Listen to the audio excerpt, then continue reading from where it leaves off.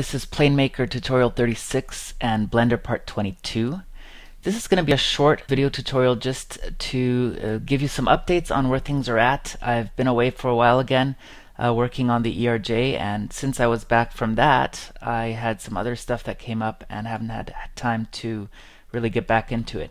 What I want to share with you is tutorials 34 and 35, which talked about all the manipulators and how to make the lighting regions and all that stuff.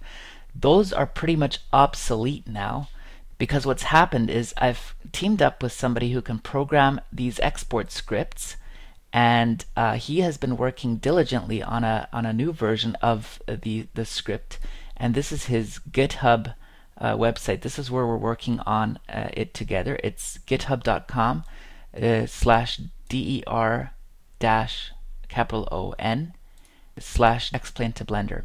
So this is where the new developments are taking place. And yes, we're also working on a 320. Uh, this is for Blender 2.53 and it's still very much in the alpha uh, development stage. But if you're interested in, in helping code it or in making suggestions for improvement or stuff, since Blender 2.5 is out, there's a lot of really good stuff coming our way. And we're hoping to jump on that bandwagon as soon as the script is up and running. Blender 2.5 is still in beta phase, so that's more for um, the adventurous ones of you out there to help out with that. In the meantime, just a quick review. If you go to YouTube and you go to PlaneMaker, you will find my tutorials are in two playlists. Uh, PlaneMaker tutorials, these are the basic ones. These are the first 14 that I cover, and that's only PlaneMaker stuff and uh, uh, intro research. And then you can check out the uh, the playlist down here. So the first 14 cover everything that has to do only with PlaneMaker. There's no Blender covered in those, but it teaches you how to do the, the wings and the fuselage and the nacelles and uh, animate the landing gear, the basic texturing, basic cockpit creation, all that stuff. If you go back to the same search field that you went to for PlaneMaker, a little further down there's another playlist uh, by the same author, by myself, using Blender with PlaneMaker. And that's the next series of tutorials that incorporates, uh, first of all, you'll learn how to use Blender as time goes on. And as you move along, it will show you a little more about Xplane's OBJ format and what you can do with lighting and all those sorts of things.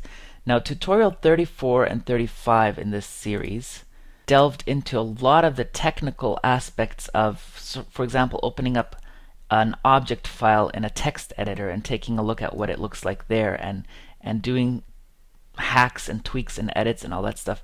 That was quite a cumbersome process that, that I was hoping to eventually be able to spare you of. And uh, sure enough, well, what, what needed to happen is the export script needed to be configured in such a way that it could export from Blender to the correct text or object format to begin with.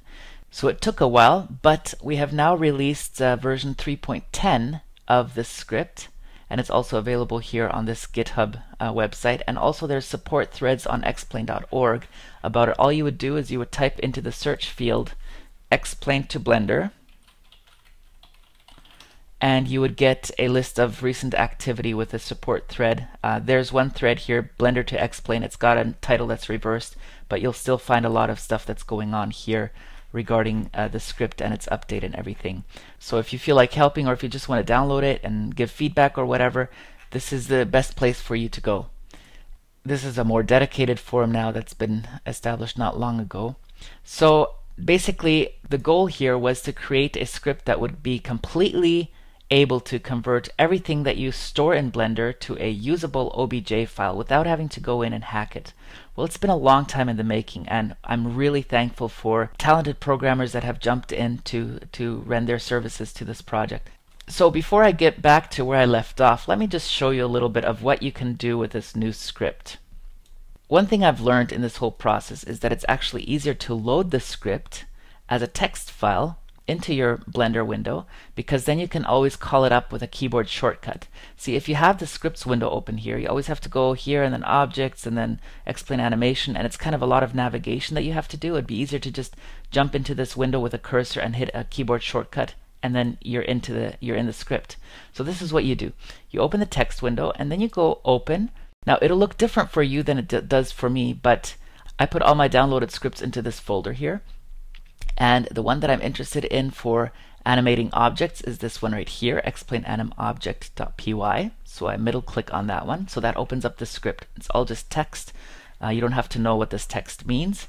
But basically the way it works is now I can select an object that I want to animate. See here we have, for example, a pedal adjustment button that is already parented to an animated bone.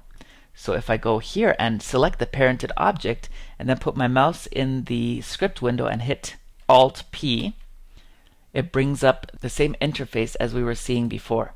This is a little bit buggy for me sometimes. I don't know, sometimes I get uh, double layer stuff, but what's been added to this script is the ability to add this functionality of manipulators.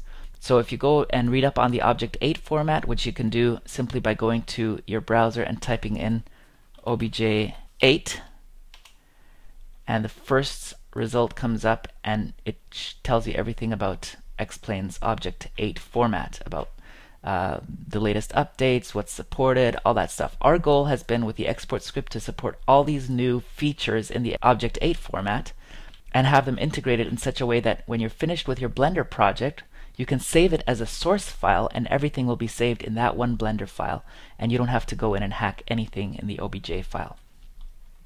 So this will allow you to assign a certain manipulator. Uh, these are all outlined in that website about the OBJ8 specifications.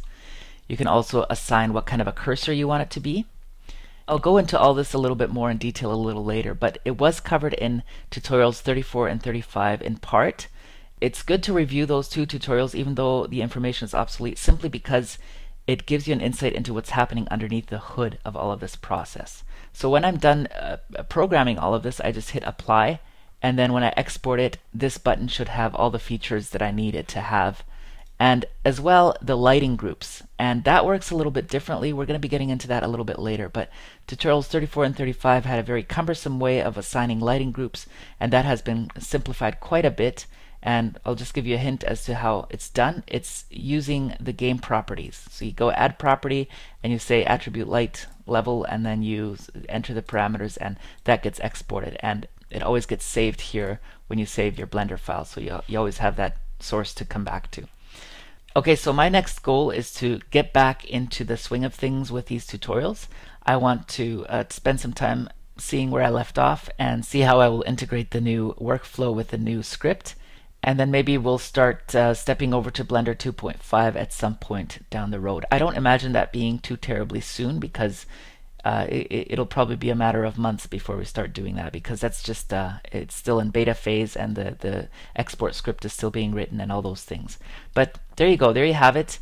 And uh, so if you keep keep tuned, we'll probably get back into doing the nitty gritty stuff, the stuff that you've all been waiting for, like the external animations, the wing flex, the fan blades, the retract landing gear, and all that stuff that uh, that needs to happen for an X-plane aircraft's exterior.